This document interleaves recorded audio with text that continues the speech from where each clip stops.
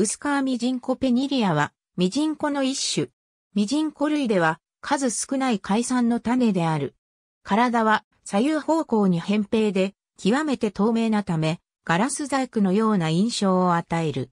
体長は、メスで0.4から 1.2mm、オスで0.7から 0.9mm。頭部は背が低く、頭頂はマリー。糞は、メスでは鋭く尖るが、オスではマリー。糞の元に出る第一触覚は、メスでは、ごく短くて公園に長いフレゲを持つ。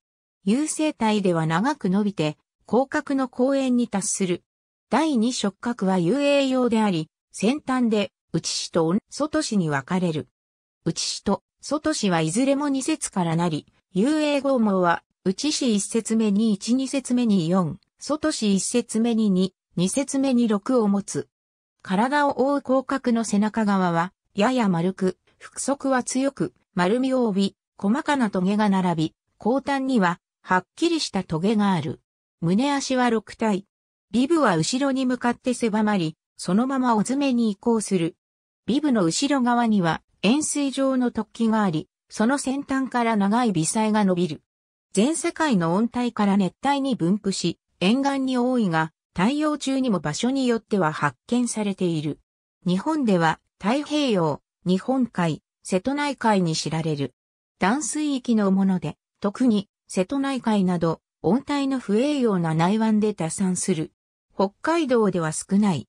初夏によく出現する。餌は水中の細菌や微小な植物プランクトン、デトリタスなどをろ過接触するものとされている。淡水酸のミジンコ類と同様に、メスが単ため生殖によってメスを産む形の増殖を行う。時にオスが出現して有性生殖が行われる。この場合、耐久卵が形成され、休眠の後に孵化する。なお、淡水酸のものでは、耐久卵は卵床に包まれるが、本種の場合鞘がなくて、楕円形の卵の形で形成され、体外に出る。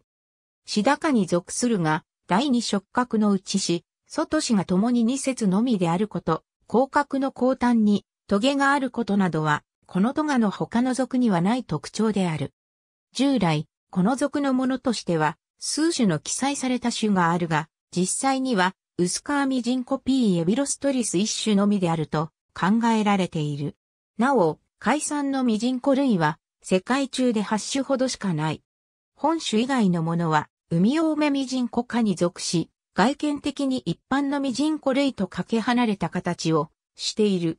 そのため、本種と紛らわしい動物は他にいない。